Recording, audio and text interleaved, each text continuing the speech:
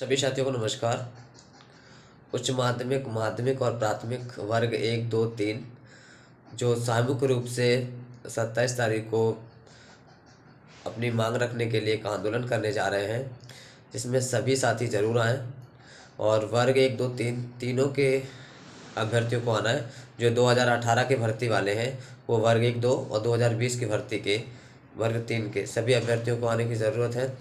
कि साथियों ये आखिरी मूवमेंट है जो पद वृद्धि के लिए रहेगा। तो सभी साथी ज़रूर आएँ और अपना योगदान ज़रूर दें। साथियों परमिशन के लिए जो इन्फॉर्मेशन देनी थी संबंधित कार्यालय में, वो दे दी है और वहाँ से अनुमति मिल ही जाएगी हंड्रेड परसेंट ठीक है?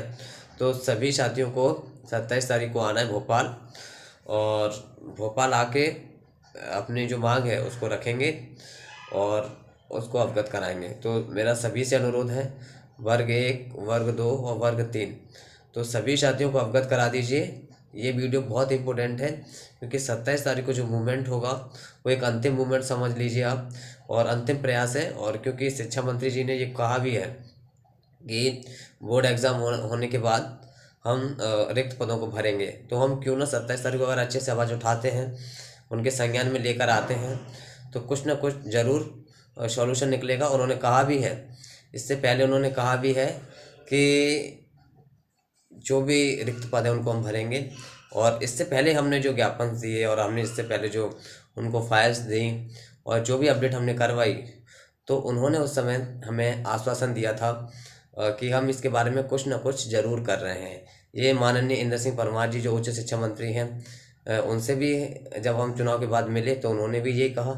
शिक्षा मंत्री जी से मिले, वर्तमान शिक्षा मंत्री जी से तो उन्होंने भी वही कहा कि हम कुछ ना कुछ ज़रूर कर रहे हैं इसके बारे में। मतलब कहीं ना कहीं प्रक्रिया इसकी भी चल रही है, लेकिन हमको आवाज़ उठाना है, हमको बताना है, हमको अवगत कराना है संख्या बल के माध्यम से, क्योंकि हम दो दो, चार चार लोग तो कई बार कई बार मिल चुके हैं, कई बार जा चुके हैं और कई बार दे चुके हैं। मैं तो सबसे मिल चुका हूँ पूर्व मुख्यमंत्री शिवराज सिंह चौहान मामा जी से मिल चुका हूँ। गोपाल भार्गव जी से मिल चुके हैं नरेंद्र सिंह तोमर जी से मिल चुके हैं, जो अध्यक्ष हैं, और इंद्र सिंह परमार जी से मिल चुके हैं और शिक्षा मंत्री जी से मिल चुके हैं, ठीक है, जगदीश देवड़ा जी से जो डिप्टी सी एम है, उनसे मिल चुके हैं, और दूसरे डिप्टी सी एम है, राजेंद्र शुक्ला जी, उनसे भी मिल चुके हैं। मतलब हम निरंतर सभी से मिल चुके हैं, और सभी से ये आश्वासन मिला था उस समय कि कुछ ना कुछ ज़रूर कर रहे हैं। और सबसे ज़्यादा जो इम्पोर्टेंट जो आश्वासन था, वो इंद्र सिंह परमार जी का था, जिन्होंने कहा था कि चुनाव से पहले भी कहा था और अभी मतलब हम कुछ ना कुछ ज़रूर सॉल्यूशन निकाल रहे हैं, कुछ ज़रूर कुछ ना कुछ पद वृद्धि को लेकर या जो भी प्रोसेस है, उसमें कुछ ना कुछ ज़रूर कर रहे हैं। ये वर्तमान शिक्षा मंत्री से भी यही चर्चा हुई थी तो उन्होंने भी यही कहा था। साथ ही आप देख सकते हैं, क्यों, क्योंकि जो धीरज सर ने जो भी अपडेट लगवाई थी कि वर्ग एक दो में इतने पद खाली हैं तो उसका नोटिस भी सर, सरकार से मांगा है उसका जवाब। तो सरकार उसको संज्ञान ज़रूर लेगी और शिक्षा मंत्री जी ने उसमें बोला भी है। तो कहीं ना कहीं वो चीज़ें हो सकती हैं जब वर्ग एक दो की काउंसलिंग होगी तब तो वर्ग तीन की काउंसलिंग के लिए भी ज़रूर हमको आवाज़ उठानी चाहिए। तो सभी सम्मिलित रूप से ज़रूर शामिल हों। तो मेरा सभी से ये अनुरोध है कि वर्ग एक दो तीन तीनों के अभ्यर्थी अंतिम रूप से आप सत्ताईस तारीख को ज़रूर आएँ। रचना मैम और रक्षा मैम और हम तीनों उसमें रहेंगे शामिल और हम तीनों के उसमें नेतृत्व में बढ़िया अपन जो तीनों साथी हैं मतलब वर्ग एक के अभ्यर्थी 2018 वाले वर्ग दो ठीक है 2020 के वर्ग तीन के सभी अभ्यर्थी। और जो चाहते हैं कि हमको आना चाहिए आवाज़ उठानी चाहिए और हमारी प्रक्रिया में कुछ बढ़ोतरी हो कुछ इंक्रीज हो और कुछ आ, मतलब कुछ कुछ पॉजिटिव न्यूज़ आए और कुछ पॉजिटिविटी मिले और कुछ ना कुछ अपडेट हो और कुछ हमारे जो पद इंक्रीज हो जाएँ, किसी भी तरीके से हो जाएँ, किसी भी कंडीशन में हो जाएँ।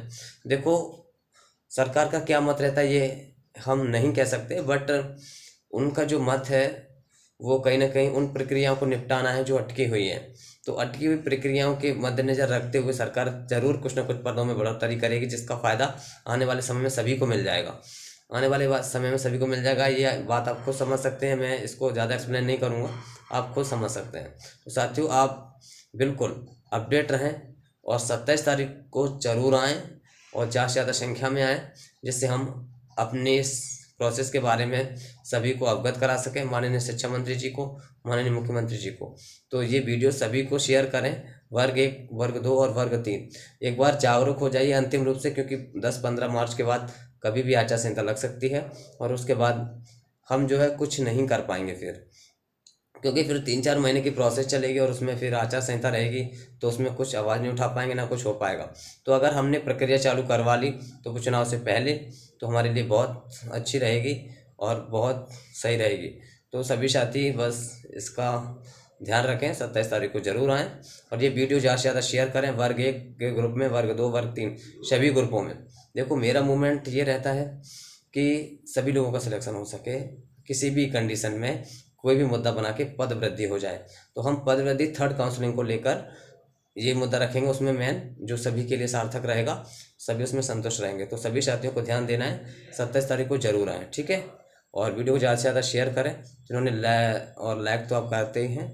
बाकी जिन्होंने सब्सक्राइब नहीं किया, वो ज़रूर सब्सक्राइब करें, ठीक है? बहुत बहुत धन्यवाद।